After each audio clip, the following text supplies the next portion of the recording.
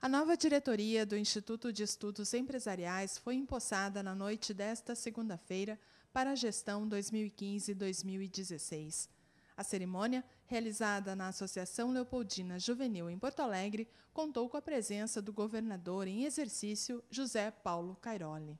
É importante a presença do poder público nesse evento, porque o IEE, no meu entender, ele tem que ser muito valorizado, são jovens que estão fazendo a sua parte, estão se preparando para novos desafios e para a importância que o Rio Grande do Sul dá a essas novas cabeças. O novo presidente do IEE, o advogado Ricardo Heller, de 32 anos, apontou os desafios à frente da entidade.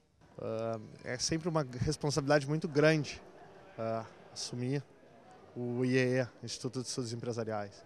Nesse sentido, uh, nosso grande desafio acaba sendo superar a gestão anterior. Né? Eu acho que isso vem acontecendo de uma forma muito satisfatória há 30 anos, com a gestão que sucede, sempre buscando se espelhar, mas também superar os feitos realizados pela gestão anterior.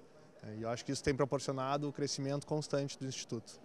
Além de Ricardo Heller, compõe a nova diretoria o vice-presidente Rodrigo Telecheia Silva e os diretores Giovanna Stefani, Tobias Zamboni, Mauro Zafari, Paulo Costa Fux e Liz Lenhar.